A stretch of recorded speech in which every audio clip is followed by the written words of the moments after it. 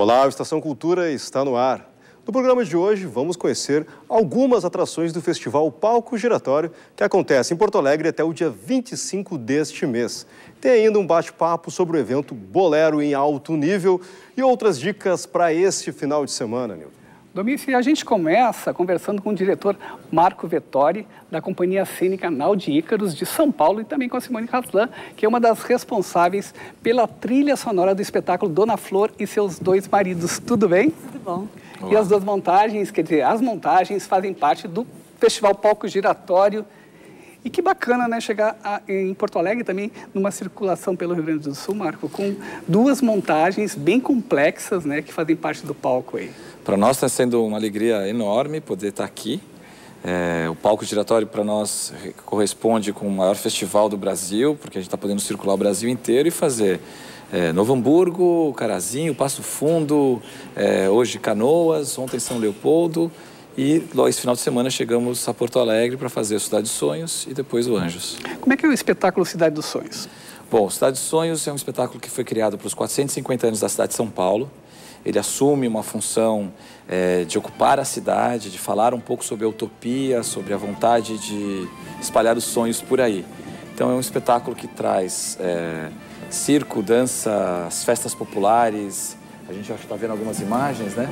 Aqui tem uh, o trabalho aéreo, né? as estruturas que são utilizadas para que a gente consiga exercer essas acrobacias aéreas. E ele fala sobre o descobrimento, sobre a, a ideia de chegar num lugar onde não se sonha mais. E trazer essa informação que vem de um mito europeu chamado Terra da Cucanha, que é muito conhecido na França e na Espanha e na Itália, mas que no Brasil entra com uma literatura de cordel como o país de São Saruê. E é curioso até porque ninguém, ah, São Saruê, o que, que é isso? Por, por, coincidência, na novela agora tem um personagem que o, o Fagundes faz, que é o Saruê. Então, é, ele está muito enraizado, esse mito muito enraizado no Brasil, que fala sobre esse lugar utópico, onde os rios são feitos de leite, vinho e mel, ah, as calçadas são feitas de lasanha, ninguém, quem mais dorme mais ganha, né? que é a ideia da utopia que vem nessa literatura de cordel e a gente tem um, esse espetáculo foi dirigido pelo Leopoldo Pacheco e por mim e o texto é do Fábio Malavoia. Bom, essa ideia também de trazer essas, todas essas referências culturais brasileiras que acabam convergindo para convergindo São Paulo. Tem um pouco disso também, dessa ideia de ir com um sonho também, encontrar uma cidade que talvez não seja tão feliz e transformar, tentar mudar esses espaços, né? É, essa trajetória que a gente vem dos 450 anos para cá, a gente pode falar que tem uma cidade que está mudada.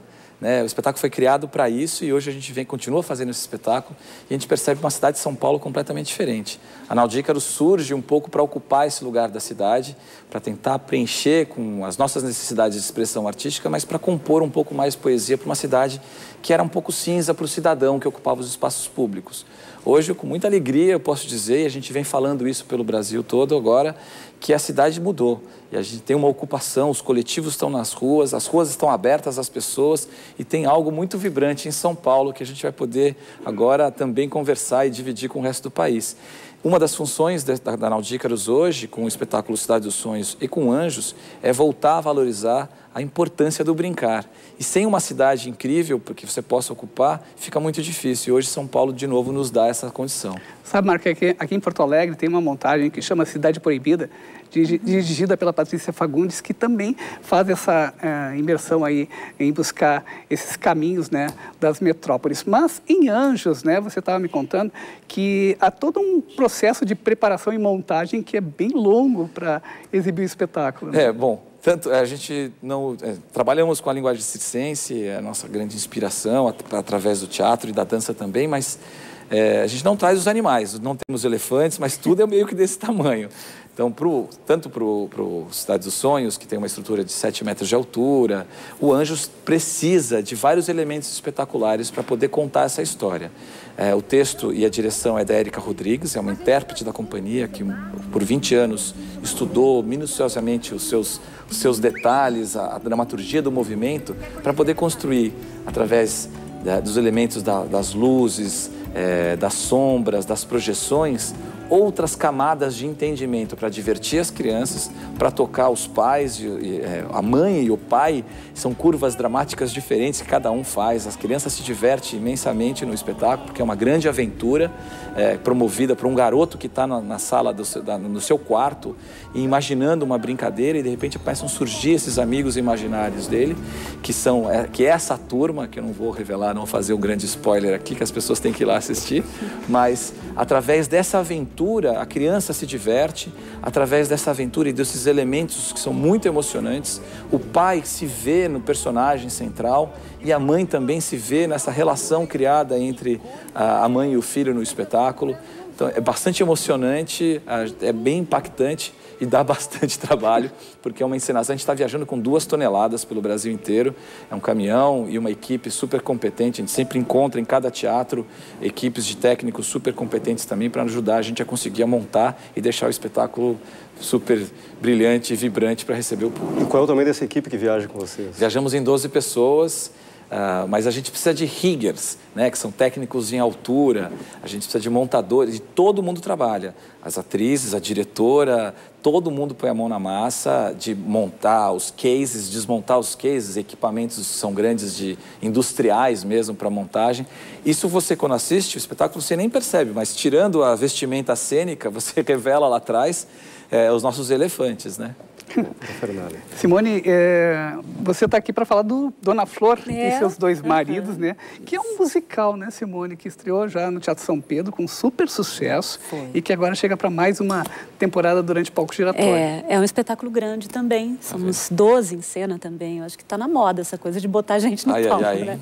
E é quente, né? É bonito ver gente no palco, né?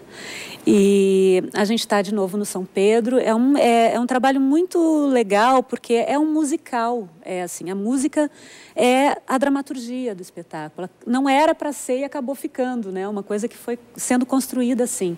A princípio, o espetáculo é Carlota Albuquerque, a Larissa Sanguiné e o Zé Adão Barbosa fariam uma direção cênica. Quando a Carlota teve ideia, não, vamos fazer uma trilha de domínio público, vamos chamar a Simone para fazer essa pesquisa de domínio público e trabalhar com os atores para eles cantarem em cena e tal. Tá bom. Aí eu cheguei lá e comecei a fazer essa pesquisa dessa música, então, uh, de domínio público, que seria isso, né? E, e chegou uma hora que eu digo, não vou dar conta de fazer a pesquisa, ensaiar o pessoal todo. É muito mais demorado pesquisar, né? E ainda mais sendo domínio público, não é, não é uma coisa simples de conseguir. Então eu digo, bom, eu acho que a gente precisa de uma pessoa que nos salve. Eu chamei o Álvaro Rosa Costa, que fez a criação da trilha e aí ele completou essa trilha de um jeito incrível, assim, né? Eu sou muito fã do Álvaro. Bom, e essa trilha tem a ideia de trazer a, o clima das noites baianas, dos cabarés, dos cassinos daquele, daquele momento lá é, da Bahia, né? É muito interessante isso, porque a gente aqui nesse frio, né, falando da Bahia, o que é que um, um grupo de, de, de atores do Rio Grande do Sul quer falar da Bahia? Bom, o Brasil, o Brasil é essa essa loucura toda que é, né? O Brasil é essa confusão, é essa esse caldeirão enorme que leva a gente a falar da Bahia hoje aqui né, no Rio Grande do Sul e a falar de uma brasilidade que é nossa, sim. Então, como é que a gente daqui do Sul, eu nem sou do, do Rio Grande do Sul, sou, eu sou matogrossense, estou falando dessa Bahia como se fosse minha, né? É isso, falar desses, desses nightclubs, esses cabarés, esse, essa brasilidade, essa comida, esse cheiro. Por que, que a gente sente necessidade de falar do Brasil? E nesse momento, acho que é muito importante falar do Brasil, né? Simone, a música é executada ao vivo, né? É, é feita ao vivo. Eu e a Kitty Santos, Kitty no, no, no cello, flauta e, e percussão, eu no, no, no piano. E os atores também né, tocam. O Álvaro está em cena como ator também, então é incrível a gente ter a, o criador da trilha na cena. Então, assim, a música ganha um espaço muito inteiro na cena, né, tendo o criador em cena como ator.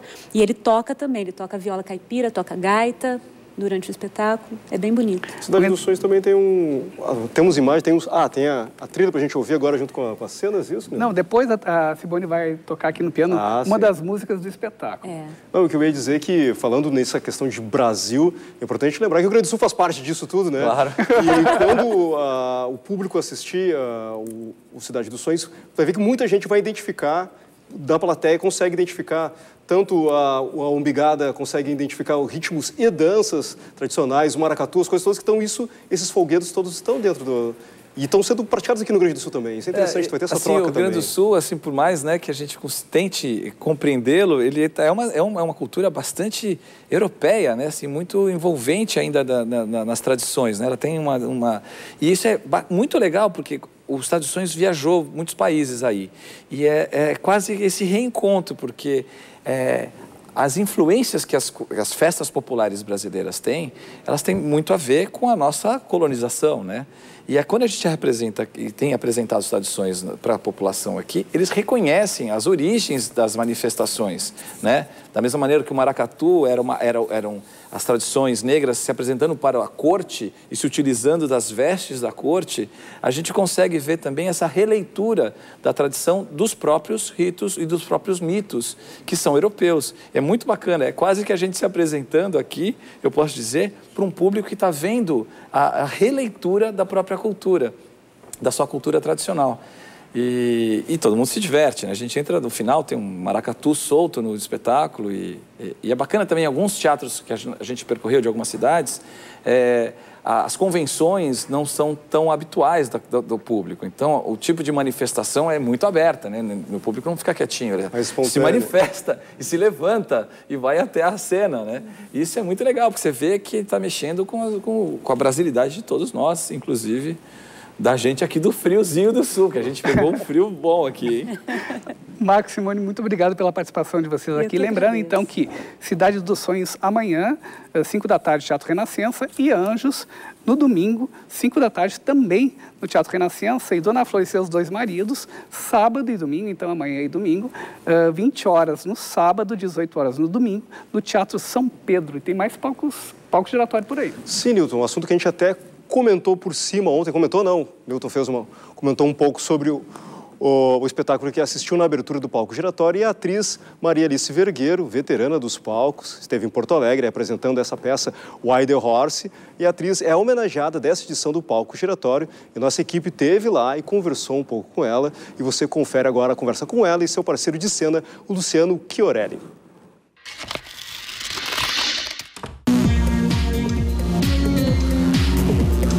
De onde que vem esse tabu, principalmente ocidental, de se falar da morte? Eu acho que falar da morte, mais do que um tabu, é uma necessidade, porque a morte já está inserida no nosso contexto de vida. Na peça é, é abordado de uma forma poética porque tem que, tem que se homenagear a morte. A morte não tem que ser temida, tem que ser homenageada, para inclusive ter o direito a recebê-la. É, a gente acredita que tem um direito, nós temos esse direito, tem um momento reservado para nós único, assim como o nosso nascimento é nosso, a morte também se vai sozinho. Este momento é um momento tão especial, acho, na vida de qualquer um de nós, independente de qualquer classe social, independente de qualquer, entendeu? Raça, é um momento único que é reservado. Então nós estamos experimentando de homenageá-la, já que um dia ela vai chegar para todos nós. Esse roteiro foi um roteiro construído em conjunto. Como é que foi esse processo? Esse processo começou com a dramaturgia do Fábio Furtado, que na verdade lidou com a morte da maneira poética como já falamos aqui, e trouxe também a vontade que nós tínhamos de procurar encontrar direito o assunto da morte. E a simbologia do cavalo, né? Why the horse? O, o cavalo já é uma simbologia própria. Tem o cavalo da Umbanda, que é o teu corpo transformado em, em cavalo, isto é, em, em médio. médio. E então o cavalo trouxe também a vontade que nós tínhamos de aprofundar o assunto. Há uma liberdade no roteiro por parte do Fábio. O Fábio dá, dá, várias linhas de possibilidades de improvisações. Às vezes, algumas nós aproveitamos de acordo com o que sentimos em cena, aproveitamos para aquele dia. Outras vezes, o público vai assistir de novo e fala: Mas eu não vi aquela cena ontem, e hoje eu estou vendo outra. Existe uma possibilidade, existe essa possibilidade. Desde que o espetáculo estreou, houve alguma mudança na dinâmica dele? Houve principalmente por causa da música. As músicas são todas elas traçadas pela, pelo Brecht e pelo Weil e pelo Eisler. Eisler. E, e traçadas para o improviso.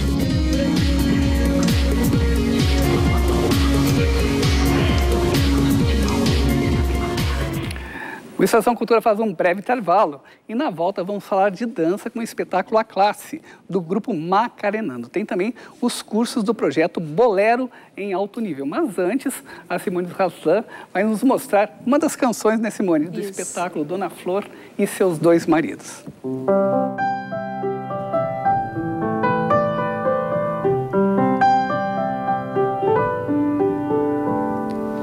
Outra vez teu corpo, outra vez teu cheiro. Faz uma ferida, faz uma ferida, rasga toda a calma e a paz. Toda vez que voltas, cala no meu colo, teu sono de morto quase me socorre meu prazer sem rosto vai outro porto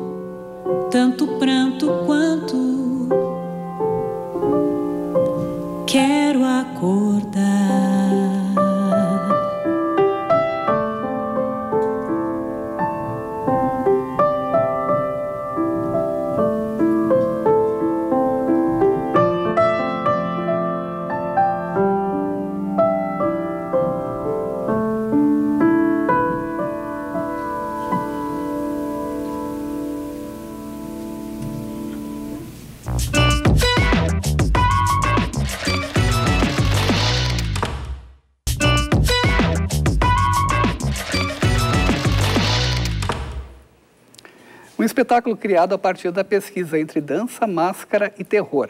É a montagem A Classe, do grupo Macarenando. E sobre o espetáculo, nós conversamos agora com a Débora Maier, que integra o elenco e a montagem também integra a programação do palco giratório. Tudo bem, Débora? Tudo bom, tudo bem. Então, como é que vocês então uh, reuniram esses elementos para apresentar esta classe? Então, a, classe é resultado da, da oficina permanente de criação em dança uh, que está acontecendo e no ano passado a gente, o ano inteiro a gente ficou pesquisando sobre isso, um pouco, o Diego gosta muito de brincar, né, de trazer as coisas de uma maneira muito simples. O Diego Mack, que é o... Diego Mack, da Macarenando Dance Concept. É, ele gosta de trazer elementos simples para a gente brincar e a máscara, ela, ela aconteceu no acaso, a gente brincando, a gente testou uma máscara, a gente achou bacana esse resultado e a gente foi, foi pesquisando esse trabalho com máscara. O terror também foi entrando, porque ele já tem dois espetáculos, um que fala sobre o amor, outro que fala sobre o humor, né? Então agora ele trouxe essa essa vertente do terror. Então é uma pesquisa assim que a gente foi foi brincando, foi vendo, foi para que lado que ia e aí a gente resultou na, na classe.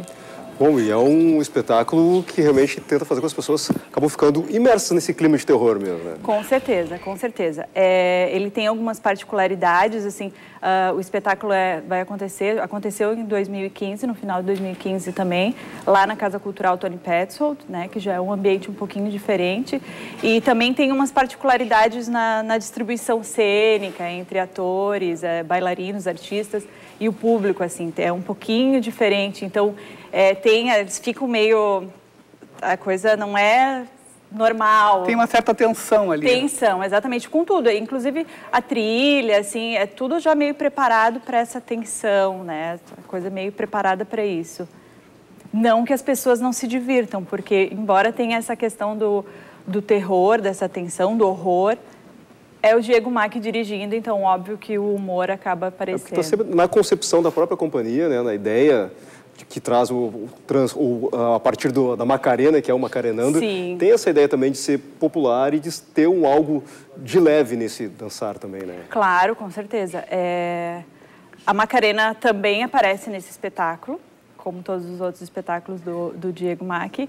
E, e é leve, é, é, é para causar um estranhamento, porque é uma estrutura diferente. Mas ele é um espetáculo que é para ser pensado, mas de uma maneira sutil, leve, assim, é, é, bem bacana. É, o trabalho do Diego sempre tem uma comunicação muito direta com o público, né? Com certeza. É, eu acho que é porque as coisas são simples, no sentido de as músicas são conhecidas, as coreografias são gestos. O Diego trabalha muito com essa coisa do gesto muito simples, de como tu consegue fazer um tchau de uma outra maneira, transformar isso num movimento de dança, né? Então, acho que é por isso que o público às vezes se identifica, porque são movimentos simples, são músicas conhecidas, né? Então tem essa aproximação com o público. Lembrando então que a classe pode ser visto até o dia 15 deste mês, sempre sextas a domingos, 20 horas, na Casa Cultural Tony Pets Road, ali na Avenida Cristóvão Colombo, número, número 400. Muito obrigado, Débora. Eu que agradeço. Pela tua participação aqui. Tá bom, obrigada. Bom, a gente conhece agora um pouco mais do trabalho de Jorge Aguiar no nosso quadro Fotógrafos do Mundo.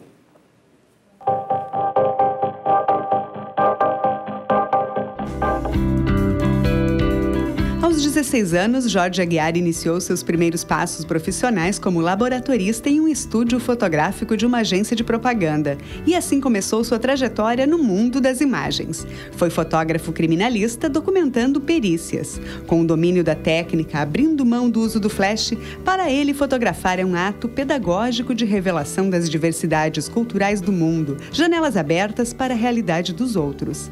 Ao completar 40 anos de carreira, é especialista em mergulhar com com rigor nas identidades culturais e sociais nas comunidades e está à procura de temas os quais ninguém deseja ver. Fotografar a periferia é afiar o fio da navalha nos olhos, costuma dizer. No fim do ano passado, apresentou sua retrospectiva fotográfica intitulada Por Onde Andei, composta por 30 imagens fotojornalísticas que ficaram em exibição no Museu de Comunicação Hipólito José da Costa. Acontece neste final de semana em Porto Alegre o Bolero em Alto Nível, com diversas atividades, cursos e bailes no estúdio de dança Mara Noshan. E quem nos dá os detalhes é o professor de dança Ramon Oliveira. Tudo bem, Ramon? Tudo bom, graças a Deus. O Bolero está em alto nível. Como é que é? As pessoas estão procurando a dança de salão, o Bolero, para uh, ter uma, uma maneira de envolver seu corpo de uma maneira lúdica? Sim, sim, sim. É, há três anos a gente faz esse evento aqui em Porto Alegre e devido a esse esforço né, de buscar a essência da dança de salão, né, é, o Bolero, sim, tem voltado aí com força total e, claro, com a ajuda dos jovens, que eles que né, impulsionam, dando sangue novo, proporcionando possibilidades de movimentação, entre outras coisas. Mas sim, o bolero realmente está em alto nível, graças a Deus. É interessante justamente isso, né? Que a gente fala de um ritmo tradicional da, da dança de salão, mas ele vem renovado, né? Então, parte dessa renovação e desses novos movimentos que é o que vocês estão tentando mostrar nesse momento, né? Exatamente. Na verdade, o bolero, a gente até apelida ele de pai da dança né, porque exatamente pela questão de ser o mais tradicional. Mas só que os outros ritmos se foram e o, e o bolero ele se manteve com essa visão de pai da dança, ou seja, da melhor idade, daquele que não consegue. E isso aí é a nossa luta agora. De mostrar que o bolero também pode ser renovado, que o bolero também ele pode ser também inovado. E essa agora é essa batalha que a gente está fazendo aí e tem conseguido sim adeptos jovens mostrando que o bolero sim tem suas possibilidades e também tem alegria dentro dele também. Ramon, são alguns cursos, né? E também vai ter um baile. Como é que vai ser esse baile? Esse baile ele é multiritmo, tá? Por mais que o evento se chame bolero em alto nível, mas dentro do baile a gente vai abranger todos os ritmos de dança de salão. Samba, foxtrot, soltinho, forró, bolero, salsa, zouk e outros ritmos aí. Então não vai ser só bolero, por mais que o evento se chame bolero em alto nível. Até porque quando a gente está falando dessa história do como o bolero sendo um ritmo tradicional, ele está na base de vários outros movimentos desses, dessas danças, né? Então também existe a possibilidade de, de alto nível de execução enquanto tu fala assim, de dificuldade de movimento, essas coisas, porque vem do bolero como base, mas os outros movimentos, mistura tudo, dá para fazer algo diferente Exatamente. nesse sentido, né? Todos os movimentos de, da maioria dos ritmos hoje dançado tem a ver com o bolero, porque o bolero ele tem uma qualidade única. Você aprende a dançar. Você não aprende tal ritmo. Dentro do bolero tem seus valores, pisar, a transferência de peso, a elegância. E isso a gente executa em todos os outros ritmos. Então o bolero sim tem tudo a ver com os outros ritmos e seus valores. Legal, Ramon, obrigado. Obrigado a vocês mais uma vez. Lembrando então que o evento Bolero em alto nível acontece até domingo no Estúdio de Dança Maranocha, na rua José do Patrocínio, número 541. Telefone para informações 51 9595 9454 domício. Excelente, Nilson. Bom, vamos encerrando a Estação Cultura de hoje e a gente fecha com mais uma dica. A Roberta Sá faz show hoje em Porto Alegre, no Teatro Bourbon Country. A cantora apresenta o repertório de seu mais novo disco, O Delírio, dedicado ao samba. Bom, Estação Cultura fica por aqui, bom final de semana e até segunda-feira ao vivo, às 1h15 da tarde, com reprise às 8 horas da noite. Tchau, tchau.